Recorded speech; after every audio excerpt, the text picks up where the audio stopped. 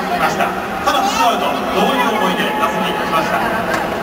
えー、そうですね、今日はもう全部得点圏でのあの打席だったんですけど、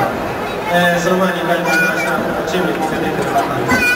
えー、あの打席に入る前から今日はこういう流れで、えー、もう一度得点圏で終わってくるんじゃないかなっていう予感もしてたので、えー、準備ができてました。そして呼吸浅田監督はどうだったんですかあの打球自体は良くなかったんですけど、あの感触的には良かったので、あの抜けてたんじゃないかなと思いました。あの長身清水選手の打球が飛んできましたねそうですね、あのいいコースと思います。そしてその後勝ち越すいい流れを作ったという意味では一つ浅田選手またチームにもご自身にも手応えあったんじゃないですかそうですね、あのみんながあのつないで、あのホームランもないんですけど、えー、なんとかね、来れてるんで、えー、そういう意味であの、チーム全員で、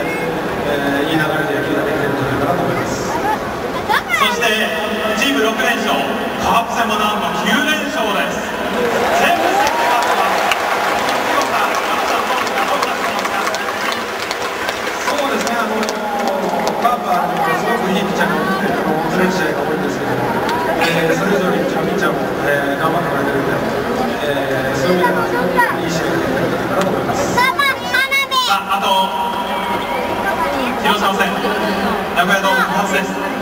どんな活躍を？夏休みのドラゴンズファン、お子さんたちに見せてくれますか？そうですね、あの映画さんも2つなんで、えー、ドラゴンズ2つ、なんで、勝ちます。